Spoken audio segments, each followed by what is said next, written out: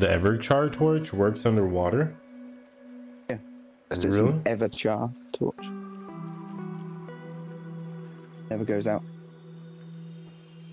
Does wear, but very, very, very, very slowly.